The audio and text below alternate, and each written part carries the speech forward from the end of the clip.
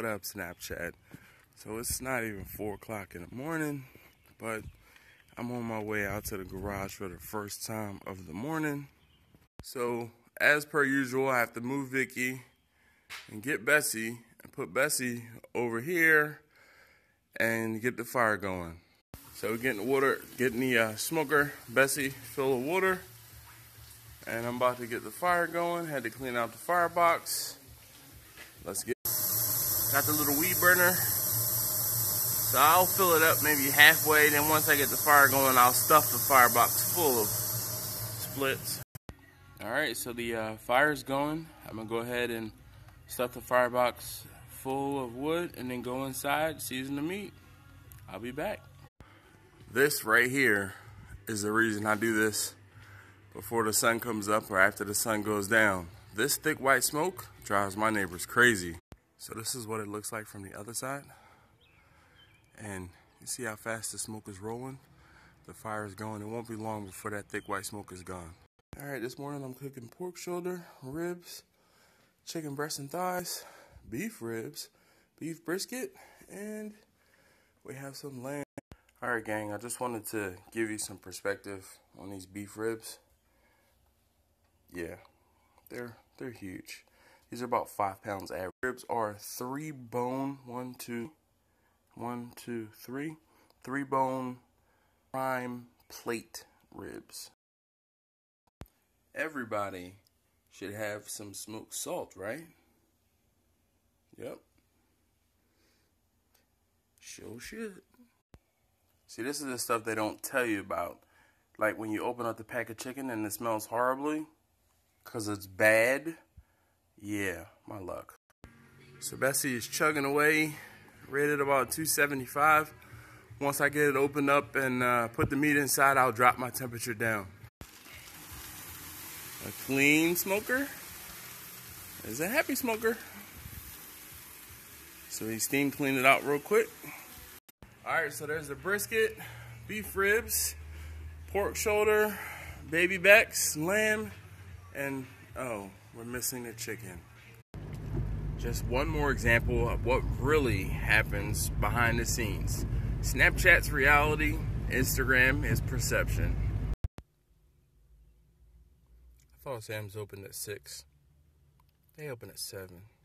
Guess who's got to go back home and then come back up here? Back in Sam's. Hopefully I can find exactly what I'm looking for quickly without having to do a whole bunch of hunting. Got the chicken. I get people asking me about how I can leave the smoker. So what I do is I load it up, and then when I load it up, I have about an hour before I have to tend to it. If I were cooking in one of the drums or in Vicky, which is uh, charcoal, then it would pretty much be set it and forget it. I could walk away for a couple hours. But that's definitely not the case with Bessie. I have to stay on top of making sure that she's fed, basically. You already know what it is. Lamb's done.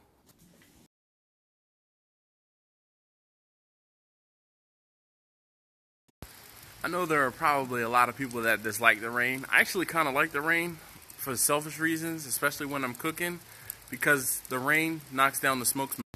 Only downside is that my driveway gets turned into a muddy mess that leads into a little lake.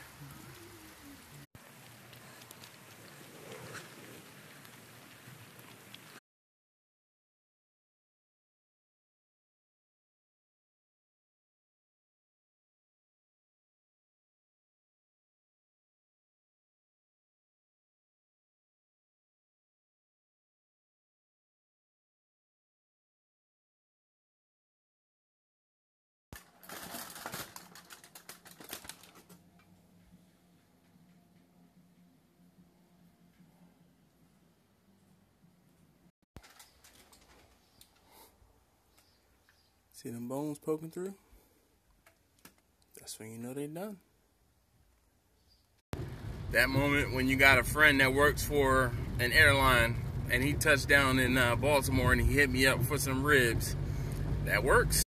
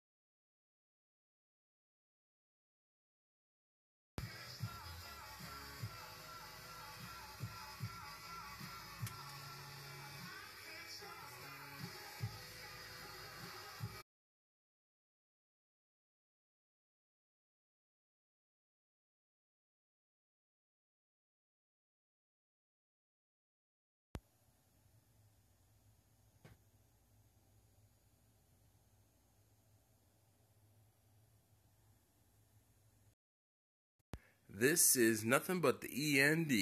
The END, the END. Bonus points if you know who sang that.